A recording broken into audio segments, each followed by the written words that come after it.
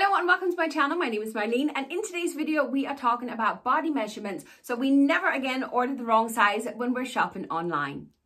Shopping online can be extremely frustrating for one reason and one reason only. It is so difficult to find the right fit. One way to ensure that we never order the wrong size again is to arm myself with a measuring tape and work with the size charts and our body measurements. Most companies actually have a size chart on their website. So if you already have your body measurements, it'll be easy for you when you go shopping, whichever website it may be on, to compare your measurements with the size charts on the website. So I have a few tips and tricks first before we start taking our measurements. First of all, we need to arm ourselves with a nice soft measuring tape. This is definitely one of the easiest one to use for taking your own measurements. Now, obviously, if you have someone who can give you a hand, that can also be easier. But sure, if like me, you're on your own as I am today, then we'll have to manage on our own. Another thing is that when we're taking our measurements, do be aware of your posture at all time. You need to stand up straight in order for the clothes to fit you properly. Because if you're slouched down and you think this is the length of a t-shirt, but then when you stand up straight, it's going to hike up over your back belly. So do make sure and be aware of your posture at all times when you're taking these measurements. Now for most of these measurements, you need to make sure that your measuring tape is parallel to the floor. Very important. We'll talk about that more in a minute, but do keep that in mind. Also, make sure you take every measurement at least twice just to be sure that we have the right one and to make sure that you're standing correctly. And if the two measurements that you're taking are not even, do it again just to be on the safe side. And last but not least, do make sure to write down all your measurements. But listen, let's get stuck into the measurements. Now the first measurement we are going to do today is the bust and the bust is measured where you are the fullest. Take the zero end and swing that around you and it doesn't matter if your measuring tape is in inches or in centimeters, do whatever you prefer. I'm using centimeters because that's what I use. We put the measuring tape on where we are the fullest. I am holding my thumb on the zero and then I'm using the front fingers here to hold on to the other side. And then when I have the rest of the measuring tape coming I just clamp that in there. But the, my thumb is staying in the exact same spot on the back. It's very important.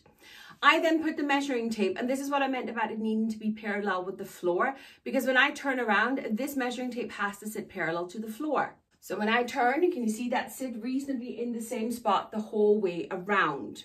Now, your measuring tape needs to be so tight that it stays put, but it should not be so tight that you're altering your shape by pushing anything in or out.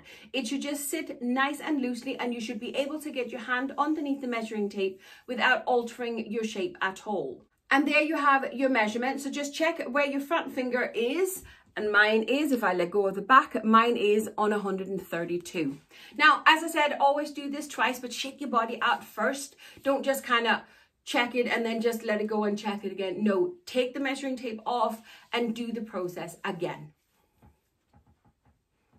There we go, that looks good there. And I get 132. So that is my measurements that I normally use, so that is absolutely perfect. Next up, we are going to do our waist. And our waist is where we are naturally the narrowest on your torso. So you can see I dip in slightly. I don't have much of a waist, but nevertheless, that's where the measurement is taken. Once again, the zero goes around us. We lie nice and smooth. Put the measuring tape around. Hold the thumb on the back of the zero. And then we just adjust. There we go. Once again, checking that our measuring tape is parallel to the floor. That looks decent there. And then we'll place our fingers in the right spot, let go of the back, and we have a measurement here for me that says 123 centimeters. Shake it out. Let's uh, try it again. Around. Are we parallel? That looks good there. Make sure we have enough space and 123 perfect. Next up is the hips. And the hips is where you are the widest down by your bottom. So once again, the method is the same and stays the same. We'll go around, put the measuring tape around, make sure it's in the right spot where we are the widest. Make sure that we have it parallel. And that looks good there, spinning the whole way around. Fingers in the right place, let go of the back, and I got 139 centimeters. Shake it out and do it again. That looks good there. And 139. Perfect. Now the next measurement is our thighs and our thighs is actually easy to do if you have someone to help you. But what I do when I'm on my own and want to take this measurement, in order to get the measurement as accurate as possible, the leg I want to measure, I put all my weight over on that side, meaning this leg is just kind of hanging out here, just so I can move it out of the way. But all my weight stays here, so that's how my posture is going to be when I stand up straight before I read the measurement. The method is the same. Reach down, get your measuring tape around, Put the measuring tape where you are the widest. Now, I'm not going to turn. I'm just using my mirror here to check. And then I'll put the measuring tape parallel to the ground. Again, it looks to be straight. And then using my fingers again, thumb on the back of the zero, um, index finger on the front, let go of the back, and I have a measuring just between, just after 70 centimeters. So now do this again, so shake it all out. Check that you're parallel in your mirror and check and I get it just after 70 centimeters again. So obviously do the exact same with the other leg as well. Now, in order to take your shoulder measurement, which is one that is often mentioned, especially on Shein where I shop a lot, I need my shoulder measurement. This one can be a little bit tricky and it can be very difficult to get completely accurate. So I kind of have a range of centimeters that I tend to use. Grab zero, pull it behind you, have it lying in your neck, put it on your neck, and then move it down to the shoulders. It'll naturally follow the curve of your body. It will naturally sit where it needs to be. Then you have to put the measuring tape where you want it. Now, and this is where it's not completely accurate on this one. Let me come a bit closer because I can move this out here and out here.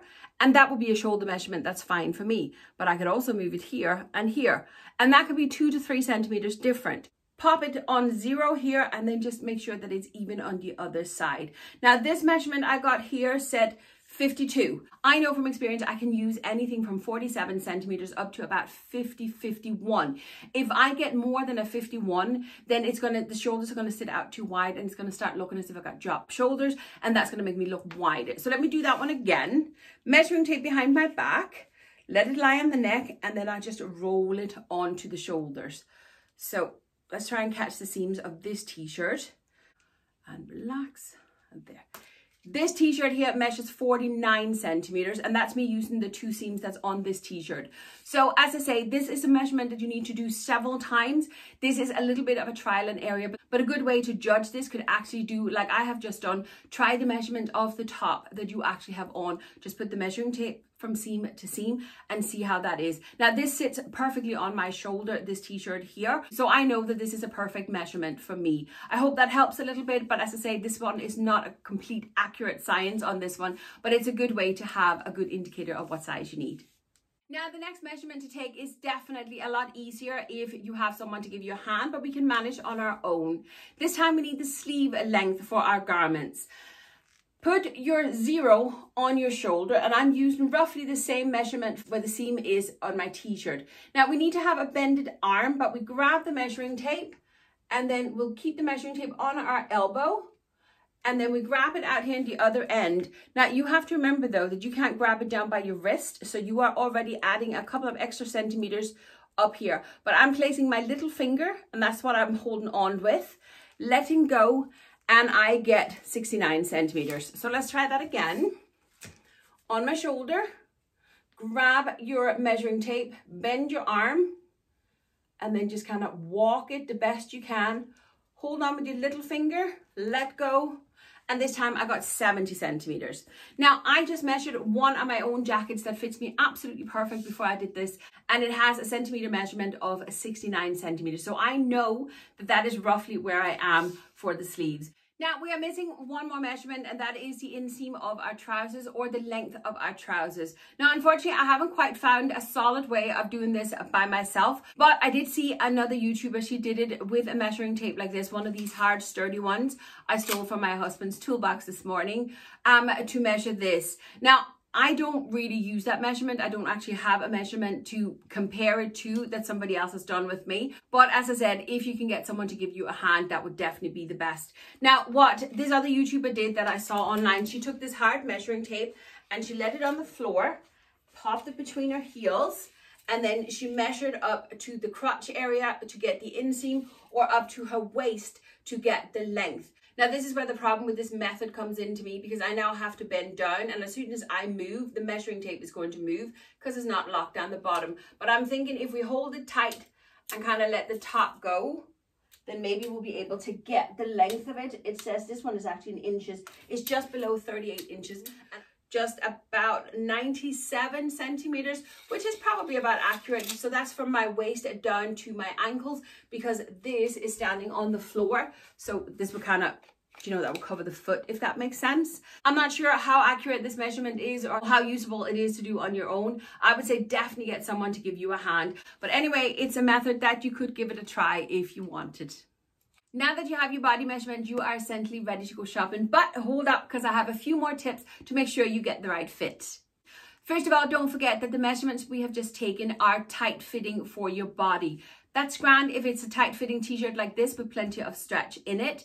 But if you have, let's say, a loose summer dress that has no stretch in the fabric whatsoever, you want to make sure that that dress is big enough for you to get in and out with ease, but also that you have proper range of movement in it. It's no good that you can fit into it, but you can't move in it. Now, one thing that you possibly could do, it may not be possible for all, but what you could do is that you could buy two of the same dress. Buy the one that fits your measurements and then buy the size up. But I will say, once you get to know a company, you will know what their sizing is like. And you'll very, very soon learn whether or not you would need to size up with that company or if you'd stick to the measurements. Now, another thing I will say, before you buy anything at all, make sure to check the return policy. Because shopping online, you can really get caught out with companies if they don't have a great return policy. But that is it for today. I hope you enjoyed the video and I hope most importantly that it was helpful for you. I've had a lot of people asking me how to measure your body, especially for shopping on Shein. And I do have an entire video on how to shop on Shein, which you can pair with this one. And I will link it in the description box for you as well if you need to go and watch that. But listen, that's it for today. Thank you for watching and I'll see you next time. Bye.